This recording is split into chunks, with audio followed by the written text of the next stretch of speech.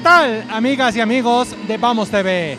Hoy esta es la presencia del doctor Ángel Mondragón, integrante del Instituto del Deporte del Distrito Federal.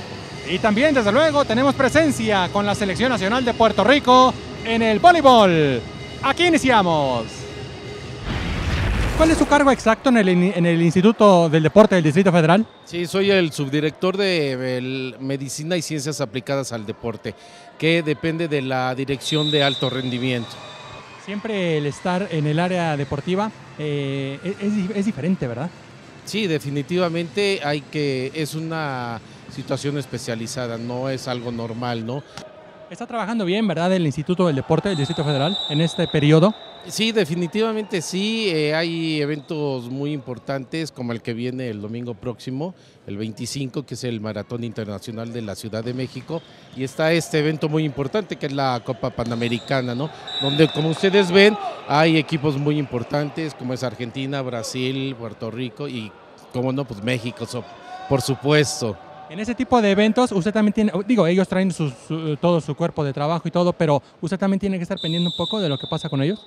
Sí, definitivamente es un apoyo más que da los organizadores del evento, tanto así como el Instituto del Deporte, aunque como bien lo dices, eh, cada delegación trae sus médicos o fisiatras, especialistas en esto, ¿no?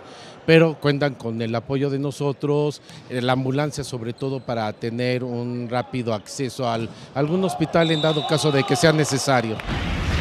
Repasamos la actualidad del voleibol puertorriqueño con Roberto Muñiz.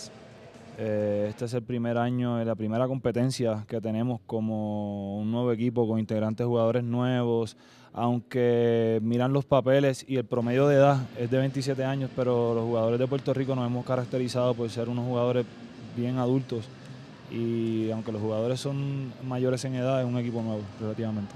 Es equipo nuevo, pero ustedes siempre tienen la, la obligación, ¿verdad?, de trascender.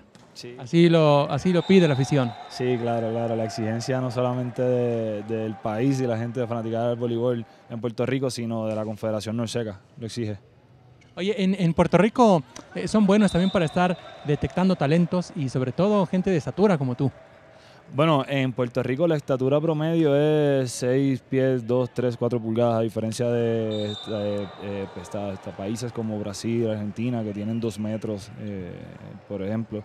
Eh, nosotros tenemos una estatura promedio de 1,94, 93. Eh, relativamente es poca la población en comparación, ¿no? territorialmente hablando, contra otras potencias como México, Brasil, Argentina, Estados Unidos. Pero sí, se puede identificar mucho más fácil debido a que tenemos una liga profesional en la isla. ¿No es sorpresa que ustedes lleguen a las finales? Bueno, sería, sería bueno para nosotros, ¿verdad? Eh, en cuanto al plan y dentro del desarrollo que llevamos de este nuevo equipo, así que sería, sería bueno, ¿no? Y tenemos bastante historia a nivel centroamericano, así que deberíamos estar.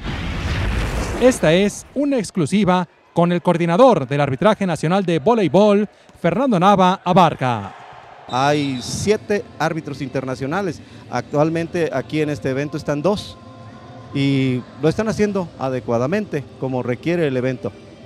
Los árbitros no tienen que hacer caso, ¿verdad? Tanto apoyo del público, tienen que estar muy concentrados. Eh, usted sabe, son reglas, reglas normativas, llamémosle así, porque el árbitro no puede estar eh, platicando ni con jugadores de un equipo, ni con personal que le vaya a algún equipo. Ellos son 100% honestos en este caso. Por eso los tenemos concentrados en áreas exclusivas para ellos. ¿Qué selección considera que ha jugado mejor? Hasta ahorita pienso que es Brasil, tiene un equipo bastante, bastante completo. Y claro, va a tener un adversario fuerte, que puede ser Argentina, Estados Unidos, eh, Puerto Rico incluso, pero pienso que eh, Brasil es el equipo. Desde el gimnasio Juan de la Barrera, en la cámara Carlos Pasos informó César Santi Esteban.